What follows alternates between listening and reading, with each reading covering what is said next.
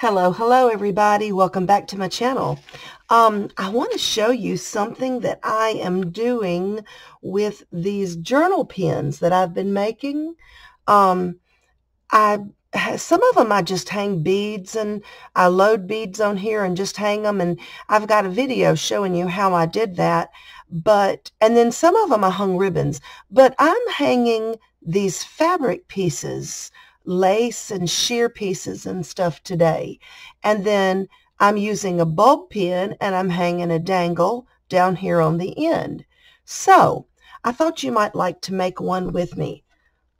We are going to start with 18 gauge wire. This is what I use.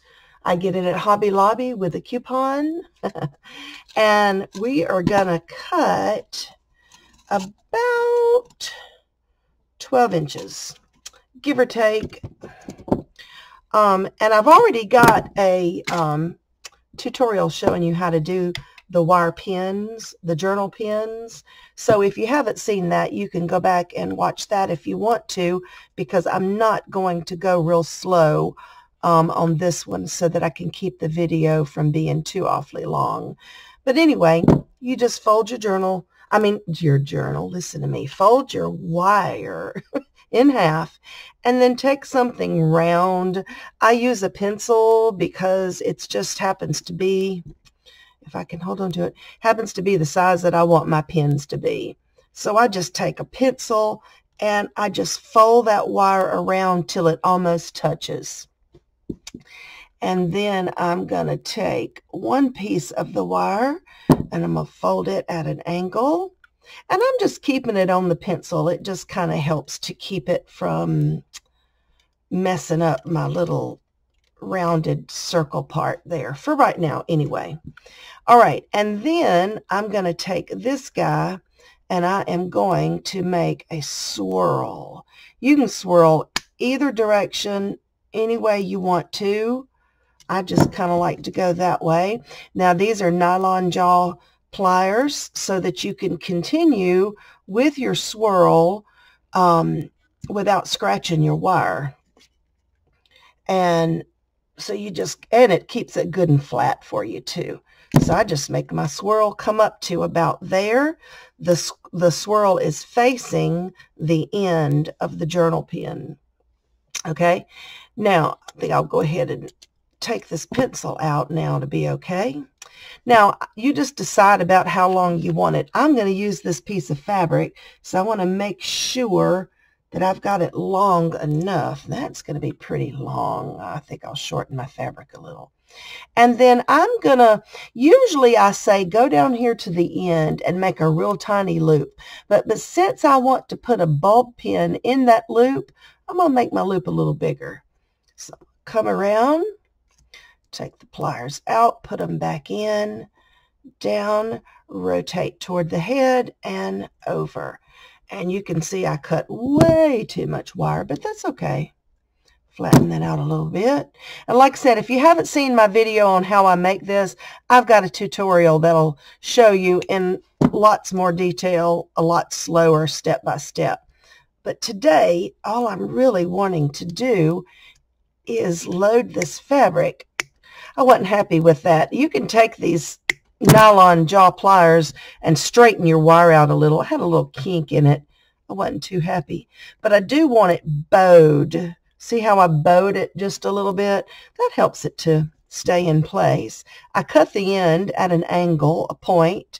I'm going to fold it up a little, and I'm also going to fold this end up just a little. So it should look like that when you get through with it then this one just fits up underneath there.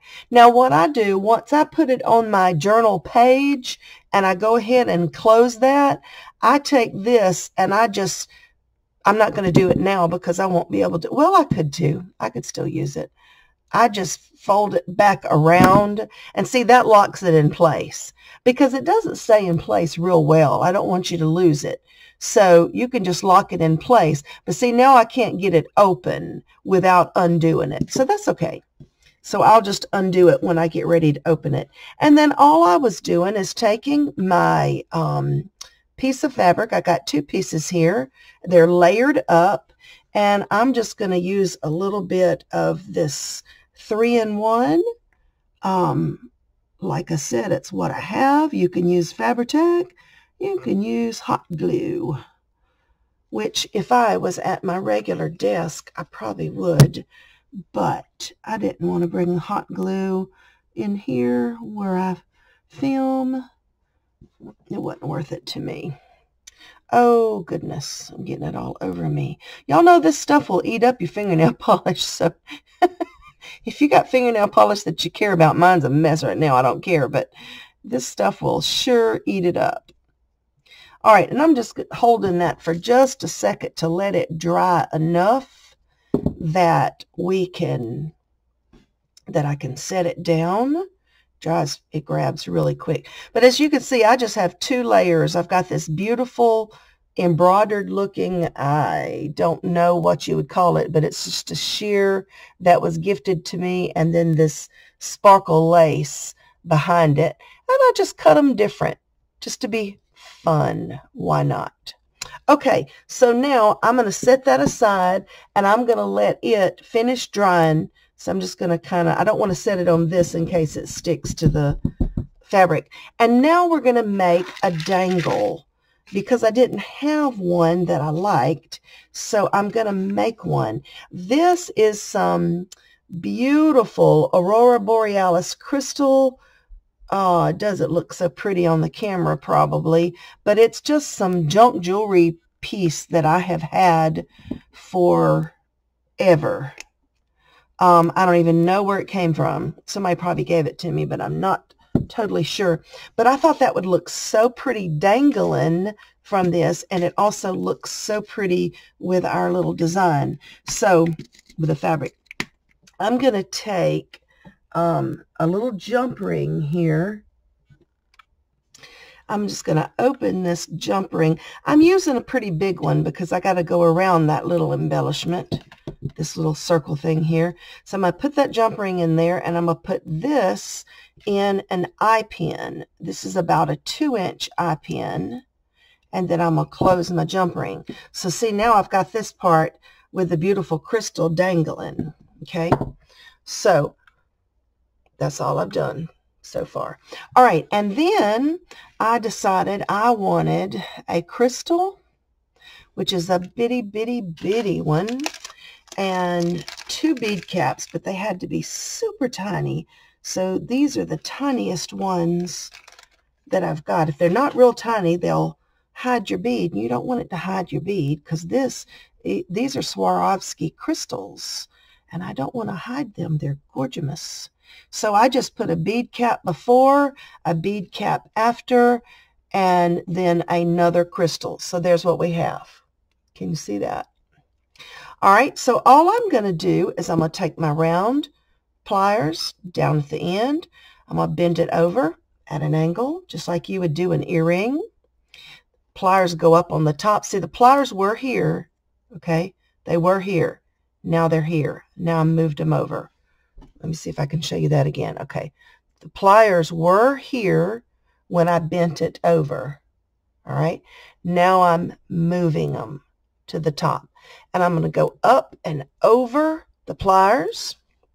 Then I'm going to, oh, I took the pliers out. I stick them back in there and I'm going to take that wire and I'm just wrapping. I really hope you can see. It's hard to see what somebody's doing on camera. I understand that. so, and I wrap until these beads get kind of tight when I feel them get kind of tight, I know that I'm there. All right, and then we're going to take our flush cutters or our nipper tool, whatever you call it, and we're going to cut that little guy off, and then we are going to press him down just to make sure there's no sharp edges. I think I see a little bit of an edge. There we go.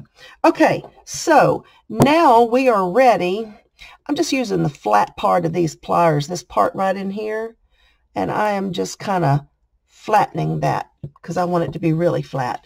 Now we're ready to attach it to the bulb pin. So for that, I'm going to go with a much smaller jump ring.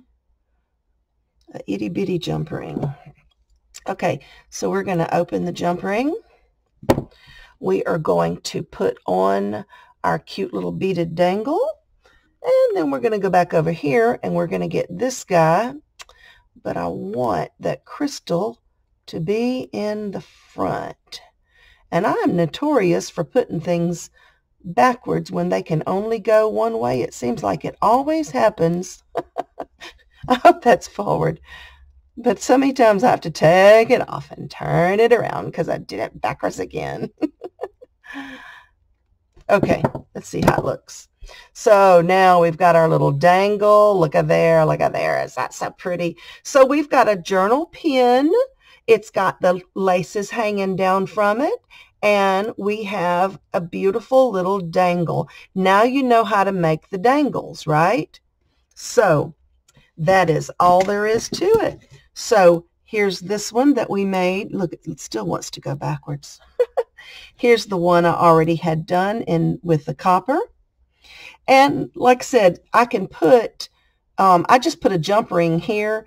Um, I could put a another bulb pin there, but I didn't because then it would end up being really, really long. And I kind of like it kind of that short.